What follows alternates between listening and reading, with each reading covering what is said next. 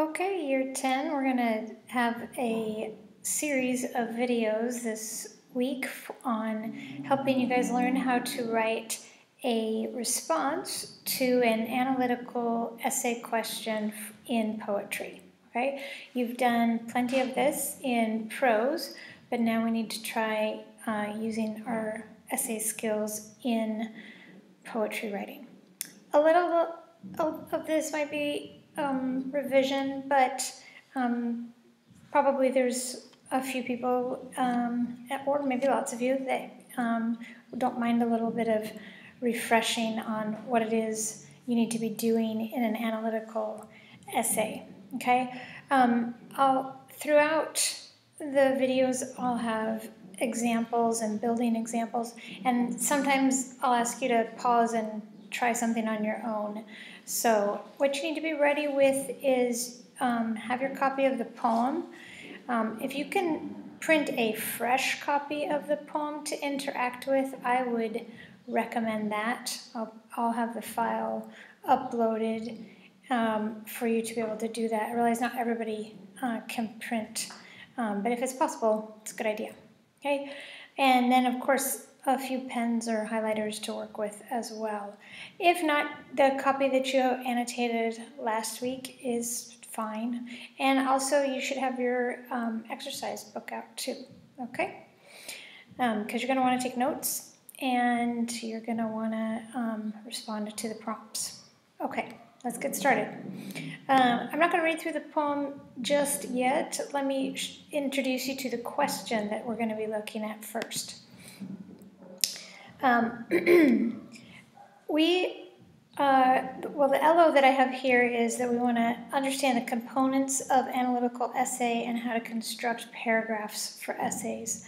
Um, you just like in prose, you're going to have a set question that your essay needs to be in response to. Uh, essays that are asked in IGCSE literature exams must be analytical and I know that you've heard me say this before, but in order to analyze, you must be addressing or talking about, or your paragraphs need to be focused on the how, the how and the why. Okay, how a poet conveys something, how they communicate something, how they create effects, um, or why the quote why the metaphor, why the emotive language that you have selected to discuss, why it creates the effect that you're claiming it, it, it creates. Okay? Um, and you have to be focused on your set question, always. Uh, if you go into an exam room with some pre formulated uh, essay that you just you've memorized and you're going to just write it on the paper without really uh, looking at the question that's being asked of you, you will get very few points. Um, you also must make sure that the essay that you write is formal and it is organized. Okay? That there is a formal register, an academic voice used in your essay writing, and that it, and by organized I mean have a plan that you're that you're following. Uh, you know that you've got a couple different um, key ideas, and and you know what those are before you start, and you order them in a way that you think logically builds, and then also um, your essays, just as a reminder, are not a summary. You are not summarizing or retelling what happens in the poem um, or kind of putting the poem into your own words. That is not analytical writing. Okay, so the set question that we're going to, the, that you're going to respond to, that we're going to be using as our example on how to write analytical essays in response to poetry, is uh, what you can see at the top of the slide there. Uh, explore how Dixon presents her childhood in the poem Plenty. Okay? Um, Cambridge might throw in a vividly in front of presents. I haven't included it, but I wouldn't put it past them. You know it, how Dixon vividly portrays, uh, or sorry, presents her childhood. Um, and vividly simply means like bring it to, to life. Um, you can like you can almost see it when you read her poetry. Okay, um, so what we want to do first is read through the poem, and while we're reading through the poem, I want you asking yourselves uh, questions like, uh, or just keeping it, you know, centered in your mind as you're reading it. Um, how does she present her childhood? What does she show the reader about her childhood? How is it presented? Okay. Now there's there's loads of things going on in this um, poem, but the focus that they want you to, um, you know, it, whatever set question is, that's that's where what you need to focus on when you respond. It you can't just pick your favorite things to talk about unless you can connect them to um, what the set question is asking about. Now, the key words in this set question, um, the most key word, is childhood. Okay? The poet's childhood is being presented, and that is what your essay needs to focus on. Um, we're being asked how, how it's presented, and um, of course, it's how does the poet Dixon do it? Notice how the poet is just referred to by her last name. And I will remind you about this at the end of this uh, series. But when we refer to poets, playwrights, authors, um, I've probably told you this before. We either refer to them by their full names. You could talk about, you could refer to her as Isobel uh, Dixon, or you simply refer to her by her last name, Dixon. Do not refer to her by her first name only. Okay, that is not formal. Um, all right, so we're going to read the poem. And as I read it, I want you thinking how is she presenting her childhood? What is she showing me about the, her childhood? Okay? Well, the arrow doesn't want to flick down. There we go. Okay. So, with fresh fresh eyes, we're going to look at this poem again. What do you learn about her childhood?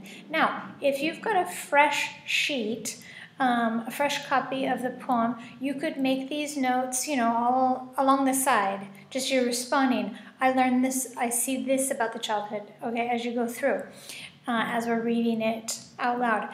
If you don't have a fresh copy, um, just keep a, just go ahead and um, write your ideas down in your exercise book, you simply could, you know, put numbers one through eight for stanzas. Okay, there's eight stanzas, and uh, you could make observations or uh, make connections with how her child is, childhood is presented, or what do I learn about her childhood in each stanza. Okay, so either way will work. The idea is responding. You're with your own thoughts because I'm going to share my thoughts, but I want you to practice making your own observations first. Okay?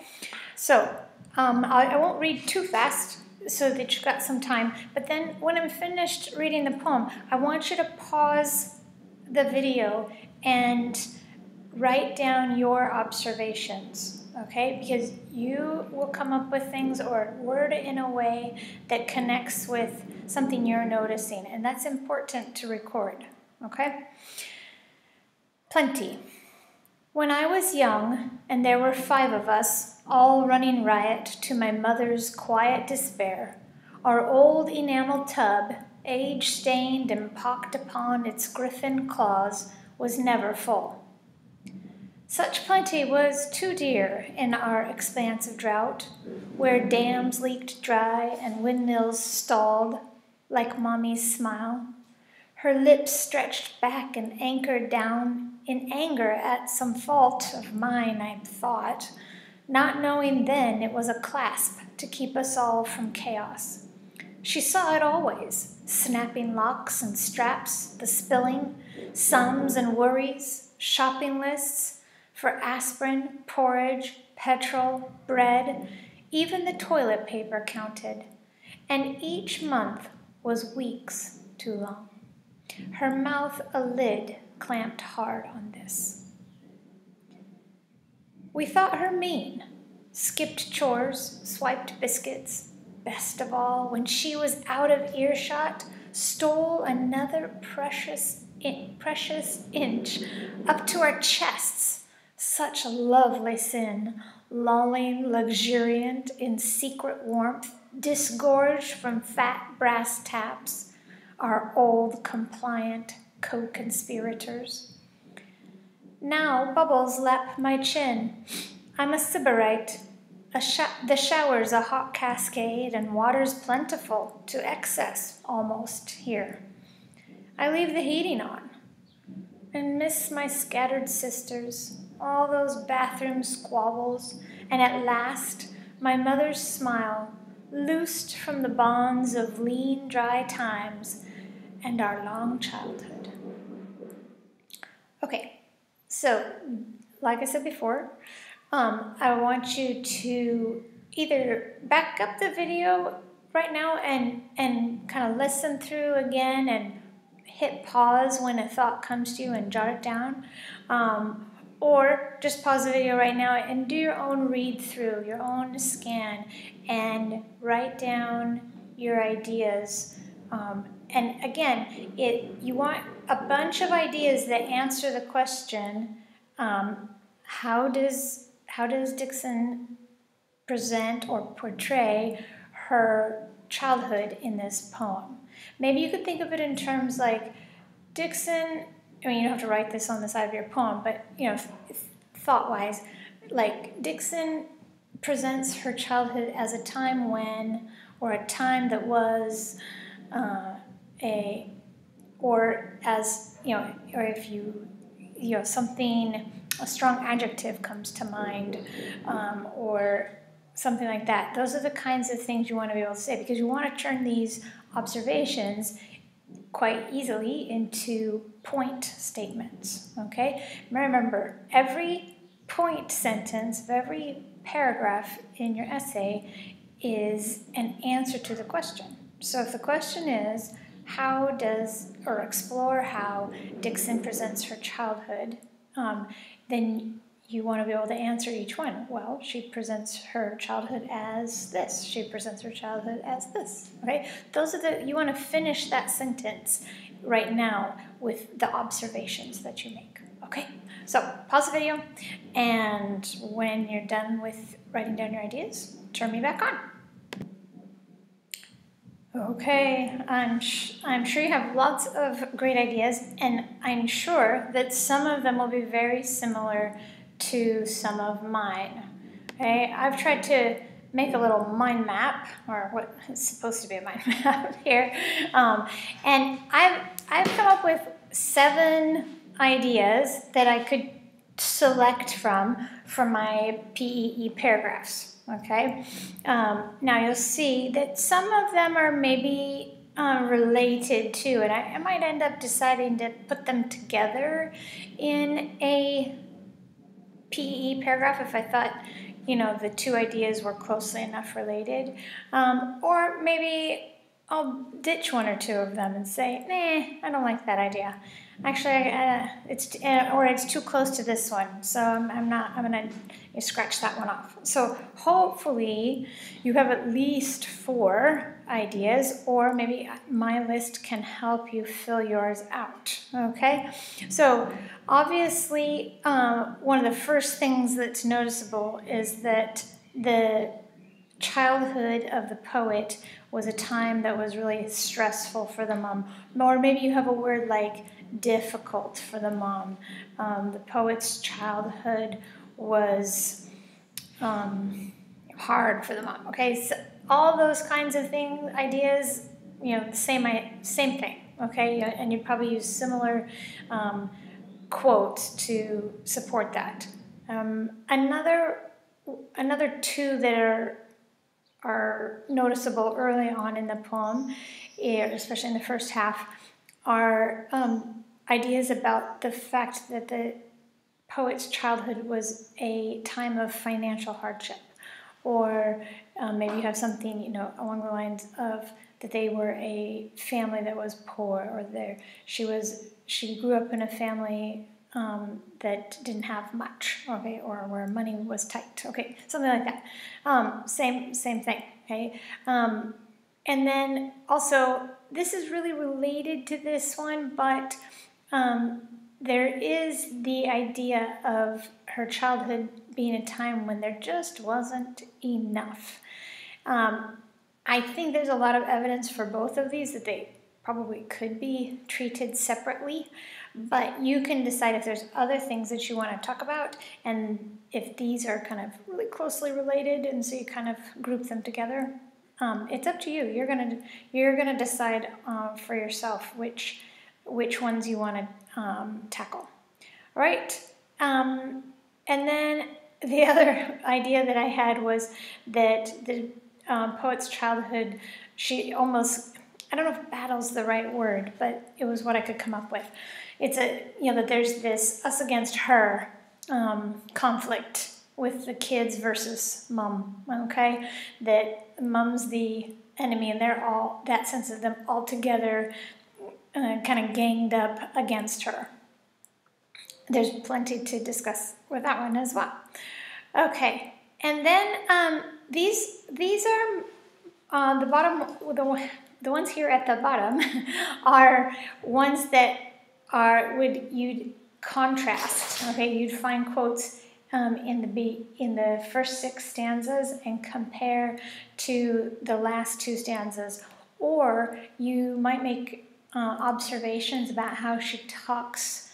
Even some of the things she refers to in the first six stanzas shows that she knows better now. Okay, so um, and one of those major ones is that, uh, or one of the points has to do with that, is that her childhood was a time that she views differently now as an adult. Okay, we get the contrast between her childish viewpoint and her now mature um, adult viewpoint. You could also explore how her childhood is a is presented as a time that is in contrast to her life of plenty as an adult. And, and maybe you compare these two uh, together.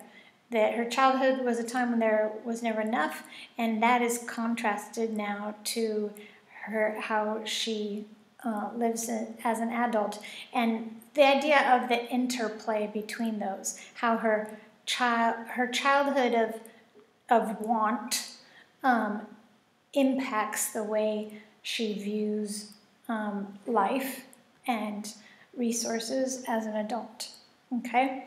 Now you want to stay focused on how she presents childhood, but um, one idea that's there is that she presents the shaping force of childhood.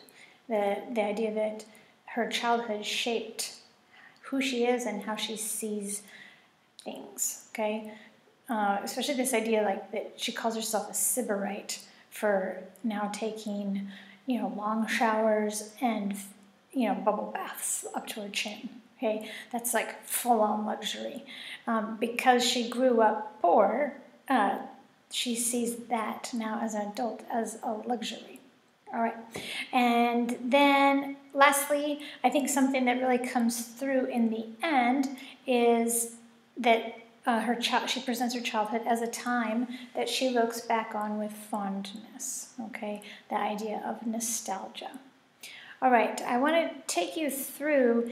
I'm going to take three of these bubbles, okay, and I'm going to show you where you examples of how you might look at the poem and collect um, support for these ideas or what you might explore. Okay? First off, we've got this idea of um, the uh, childhood of the poet is a stressful time for the mom. Okay, and I I put this this list uh, on each of these slides so that you will remember that it's not it's not just language that you're looking for. You're looking for any anything you can. Um, you know, structure might come into um, supporting this point. Language choices, of course, um, imagery, or you know, um, any personification, metaphor, simile, sensory appeal, uh, any of those things we would categorize as imagery might support this. Um, we might find support for this, or she, the poet might use her tone to uh, support or to express this, and sometimes sound effects, you know, rhyme, alliteration, um, any of the sound effects that uh, we listed before could play a part. So, I all this is here to do is to remind us uh, that we can be looking for more than just like the word, the phrase. Okay, we need to be thinking about all these aspects because all these aspects are tools that a poet can use to create effects that their poetry creates. Excuse me. Okay, so we, this first idea or first observation or first uh, way that we would answer the question, the poet presents her childhood as a time that was stressful for her mom, or fill in the fill in the blank with another, you know, adjective. Okay, so the places that we see this difficulty for the mum in and you might find others, but I have highlighted the quotes or the places that I would look to or that I think this difficulty, stress um, comes out for the mom. Um, first being this second line, all running riot to my mother's quiet despair. Okay, we get this, uh, all of them, like you get this vision of them like running circles around the mom, and the mom just kind of in the center, um, in this, you know, emotional um, kind of hopeless state. okay, um, we've got some emotive language in quiet despair, running riot uh, has some nice sound effects. Um, and then if you move on down to second stanza, I've highlighted windmills stalled like mommy's smile. That's a simile that uh, just like a windmill that's meant to be spinning in the wind and has stopped, mommy's smile has stopped. Okay, it's um, stalled out. It's uh, it's not that it maybe she doesn't smile, but these these times of not having enough stall her smile. And right after that, you see her lips stretched back and anchored down. More imagery that we talked about last week that is pretty strong visual representation of the mom's stress. Um, she uses the emotive word anger. The, the mom looks angry all the time.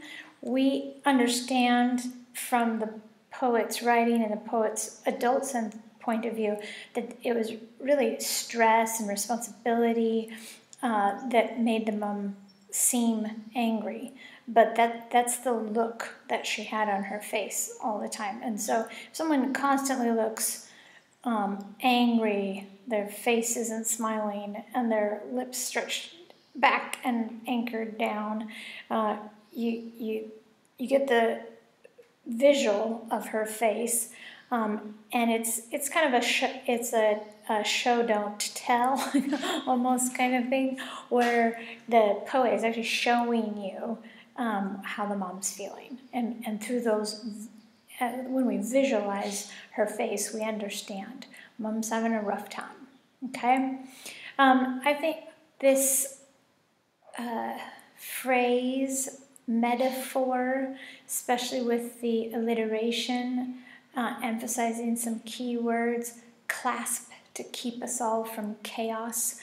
Okay, this this facial expression. Remember we talked like the the, the her her mouth actually looks like a lid or something clamped down. Okay, that that her mouth. Okay, which is really a representation of her stress, but her you know kind of holding tight and trying to keep control on everything is being compared to a clasp. And if that clasp should you know break open or become unlatched um, like the whole family, the whole thing will go to chaos. Right? Already sounds like it's chaotic, um, but it's the mom's control over the finances and making sure there's enough supplies in the house and that everybody has something to eat and everybody has toilet paper to use. Um, that it's being compared to a clasp, uh, and it, what it's keeping them from is chaos. Okay, that's a dramatic word. Chaos is, um, but the, this idea that it's hard for her. It's a lot of stress. It's a lot of responsibility. Okay, I'm going to keep going because I, I, can go on and on. But um, again, the uh, there's a lot of these about her face that you could talk about. You don't have to talk about them all. Okay, I'm pointing out things you could choose from. Okay, um, remember in a PEE paragraph, you at least need one quote, but two or three would will make a stronger um, piece of writing. Okay, you're not just supporting your idea with one um, quote, you're supporting it with lots of uh, examples. Make sure those you don't, you don't just list the quotes though. You know, I can see this when she says this, this, and this. And there you go. Okay, that, that's just, um, that's point and evidence, but no analysis. So you've got to choose the ones that you think you can offer some um, thoughtful and um, tech, you know, to some degree technical analysis. Okay, but it, but at minimum, you should at least be trying to simply answer the how. Okay, how the metaphor shows that this that their childhood was a hard time for the mom. Okay, another thing you might use is her her mouth a lid clamped hard. Okay, again with the mom's mouth and this idea that she has this hard expression um, that she's trying to keep it all under control. And then I have a few at the in the second half. Um, this idea of that because of all this, all this stress and all this um, pressure that the mom was under, um, that that that she came across as mean. Okay, that the that the perception of the kids was that she was mean, and that she was angry. Okay, and then lastly, uh, the last phrase of the poem, the poet refers to their childhood as long, okay? And it's, it's what the mom's smile has been loosed from, but that, it, uh, that their childhood was a long time, and um, their mom, that she endured um, probably what, you know, when there was five of them and, you know, all of them together, and um, the times were dry and lean financially uh, made it seem even longer, I'm sure. Okay, keep, we need to keep going. Um, so another point that you might, you know, one of your points might have been similar to this, or you like, oh, I like that idea from Mrs. Pringle's ideas, was um, she, the poet presents her childhood as a time that she views differently now as an adult. Okay, this one we can get a little bit into some structure ideas. Okay, um, mostly because we've got, you know, the first, we talked about last week how the first six stanzas focus on her uh, when she's a child and mostly comes from her like a she adopts kind of a childlike perspective or she tries to go back and and express how she saw it as a child. And then she and then you've got um, adult perspective here too. However there's little bits that come through like not knowing then um, that ex- that show that she knows more now Okay, now a structure point that you could make is simply how the first how the poem starts with the phrase "when I was young," and the at the volta or shift that happens at the beginning of um, stanza seven, we have this um, adverb noun. Okay, um, now we also have the shift in uh, verb tenses as well, but um, it's a nice structure comment to to show that she's expressing one perspective at the in the first six stanzas, and that the um, well, the perspective switches at this at the volta with the word now. Okay, the, those are um, nice technical analytical terms um, to use, and it's a structure uh, point that you could include in your essay. Um, now, some of these that I've highlighted, like such plenty was too dear in our expansive drought, she's talking about the view she had when she was young, as a child and as a family. Um, a full bathtub was not something they could afford. It was too dear, too expensive, too luxurious for the for for the life they were living. Okay, and then if you like that was her childhood, her family perspective, and then you've um, you know you've got this um, contrasted to her short statement here I am a Sybarite. The fact that, I mean, we, I mean, you could use some of the details from the bubble bath and the shower and, and all that, but the fact that she, she calls herself a Sybarite, and if you recall, that means someone dedicated to luxury and pleasure, okay, that which it's, it's a little bit of you know exaggeration here that just because she takes bubble baths now and long hot showers and doesn't really have to worry about the water bill like her parents did that that makes her a sybarite okay? Um, there there's a contrast um, but also that shaping factor of how her um, childhood experience um, shapes how she's how she viewed life then and now. All right, and then this this middle um, kind of line that straddles these two uh, stanzas. In anger at some fault of mine, I thought, not knowing then. Okay, we get this like looking back sensation that when she was a kid, she thought the mom was mad, and she thought the mom was mad at something she'd done. She felt like it was her fault. Okay, but this uh, not knowing then uh, gives us that indication that now, as an adult, she sees this truth. It was a clasp to keep us all from chaos. That that what it was was stress. What it was was mom trying to keep it all together. Okay, mom trying to hold the family together. Okay, mom wasn't mad at you know her spilling you know all over milk so much as she was just stressed about not having enough. Okay, and then um, I have this highlighted again. We thought her mean, okay, and and it's obviously written in past tense as these stanzas are, but the fact that it is written in in past tense shows that she realizes now that she wasn't. it's not that she was mean; she was stressed. Okay, she was do trying to do what she could. Okay, but they just they in their childish perspective they read it as mean and stingy, um, and then um, this perspective that's given here too at the end. At last, my mother's smile loosed from the bonds of lean, dry times.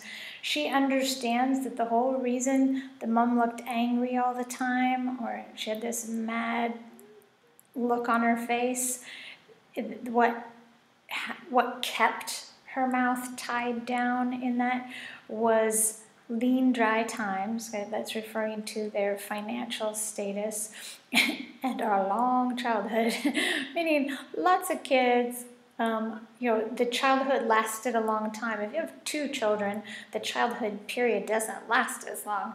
Well, when you have five children, um, you know, the the era of your life that's spent cleaning up messes and changing diapers and all that kind of stuff lasts a lot longer okay and and and the fact that with so many children not having enough um, probably made it feel even longer okay? Um, and this idea of you know each month was weeks too long like each month was something to be survived. Okay, one last one, and then we'll um, finish off this video and start a new one. Um, we, what we have here, the last one I picked was a time she looks back on with fondness. And like I said, mainly this is found in the end when the tone turns a little bit more nostalgic, but there are a few places you can see it before just at the end, okay? And that's why I chose this one because I think this one's maybe a bit um, tricky. And if you just looked at this and talked about the, you know, her missing her sisters and her mother, that's fine. That's a good place to start. But um, think too about the comparison of the when I was young and five of us, okay, the, this idea of, I mean, first of all, you got the nostalgia of when I was a kid, okay? Um, that's a very nostalgic way to start kind of remembering back, okay? And this idea of the contrast between five of us, okay, that and, and, and then all the pronouns that she uses, we, our, us, okay? It's it's she and her sisters, they're together, okay? Um, and now, I, don't know if you can notice, but this I I've um, highlighted with the blue um, is the contrast of the she looks on it back with fondness and maybe some nostalgia because of the togetherness. And now she's on her own. Okay, now that happens to a lot of people. You um, you grow up together, and you don't always live you know next door with your brothers and sisters the rest of your life. Um, and so there's um, a fondness in her looking back to their times together. Okay, and especially we can we can see when she uses the word scattered okay? My scattered sisters here we are five of us okay? In in uh, all together in our um, in our childhood in our squabbles okay? And i don't know she, um, all the bathroom squabbles if she's referring to um, you know squabbles with her sister but i would say this if if they if there was all this fuss about not having your bathtub too full and then them trying to steal extra um, you know, inches for their bath. Likely there was squabbles with their mum too about how deep their bath water was. But the fact that she calls it a squabble keeps it light. Okay, here, remember last week I said, you know, she makes it sound kind of all exaggerated and like she's committing high level crime. Um, but we have to look at the tone um, that comes across in some of her language choices. And I'll talk more about that in just a minute when I talk about these other things I've highlighted, but squabbles would be a part of that. That squabbles shows that, that even when they were in conflict, it, it, it wasn't that bad. She and, and especially now that she looks back at it, she just thinks of it as minor, okay? And and so it's not like, oh, it was so bad. Even though she's talking about lean, dry times, she misses it, okay? And she misses her mom's smile that was eventually loosed after some of the harder times of her, you know, maybe it was, you know, a period of time where the time where things were especially tough. And, and then eventually um, that financial stress was relieved, okay? Because she does say that her mom's smile was loosed Okay, the mom smile came back, and again, and so again, you have that sense of of something she's fond or positive about or nostalgic for. Okay, the other thing I want to to you see all these words I have in blue. Um, well, I have the we because of the pronoun that's connecting to five of us versus the I of the the later part of the poem. But I've highlighted skipped and swiped. Um, as examples that go along with kind of like squabble. Like, yes, it's a little bit of conflict of kids versus mom, but she uses words that, again, make it sound playful or not too bad. okay, um, and and the fact that this this language choice here, where she says "best of all," another precious inch, lovely sin, such lovely sin, lolling, luxuriant in secret warmth. This is actually a really positive memory for her, especially the way that she's describing it, especially best of all, like one of the best things that you know she could do when she was a kid, or something she remembers fondly, was when mom's not listening, putting an extra inch in the bathtub, and how luxuriant that felt, how warm she was, you know, covered just that much more in the bath water. Okay, um, and and so it's like a fond memory of um, baths when she was a kid. Okay, we're going to bring this video to a close. Um, what I'm going to leave you with is I want you to finish your your plan. Do this the same thing that I've just walked you through um, with a couple of my ideas. Do the same thing with the ideas that you came up with that you want to use in your essay, looking for um, points or um, you know the quotes, the exact line or word that you think really shows that idea that you had come up with. All right, and then and then we'll go to part two.